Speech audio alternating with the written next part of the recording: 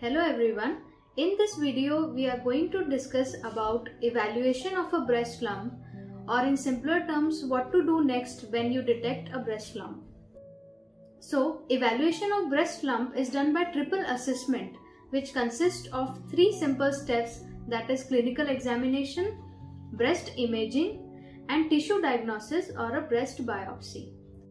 So clinical breast examination is nothing but an examination done by a clinician or a breast specialist.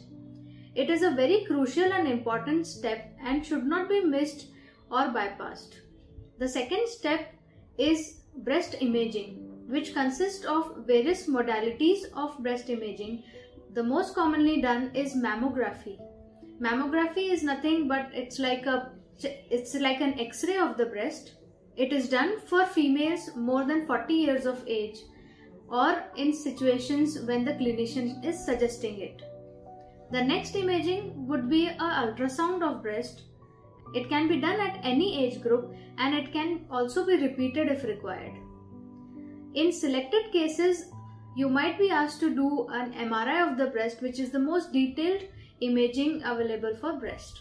So in this breast imaging, there would be a scoring assigned to you which is called BI-RADS. According to the scoring system, if the lump is in the suspicious range, you might be asked to go ahead for the third step that is tissue diagnosis or a breast biopsy. There is absolutely nothing to worry about it if you have been suggested by a doctor to do a biopsy. A biopsy will just prove it or confirm it whether you have a cancerous or a non-cancerous kind of a lump. It is done as a OPD procedure and it is done through a small needle under local anesthesia.